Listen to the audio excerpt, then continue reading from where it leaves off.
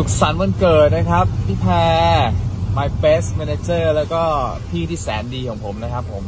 ก็ขอบคุณมากกับทุกอย่างนะครับ ก็ปีนี้ก็ขอโทษด้วยที่ลากมา ทำงานต่างประเทศนะเอาไงอะ ก็ขออะไรไว้ทำบุญอะไรไว้ก็ขอให้ได้สมหวังนะครับ